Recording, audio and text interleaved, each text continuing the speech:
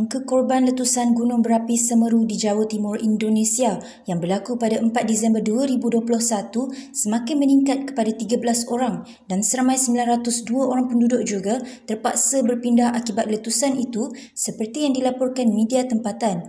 Dalam beberapa video yang dirakamkan ya penduduk tempatan ya menunjukkan suasana semasa letusan berlaku di mana penduduk melarikan diri dalam keadaan panik ketika abu letusan semakin menebal.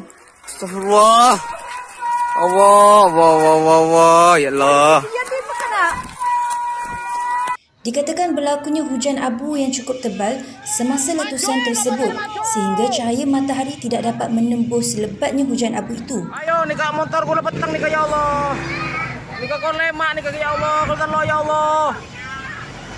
Ni kak kau talo ya Allah. Tak padang sekali ya Allah. Ni kak ya Allah. Selamat pagi lo ya Allah. Ni kak kula Muhammad Idris ni kak ya Allah. Tak padang ya Allah. Semeru adalah gunung tertinggi di Pulau Jawa antara kira-kira 130 gunung berapi yang aktif di Indonesia. Kedudukan Indonesia yang terletak di sepanjang lingkaran gunung berapi Pasifik juga mendedahkan negara itu kepada ancaman letusan gunung berapi.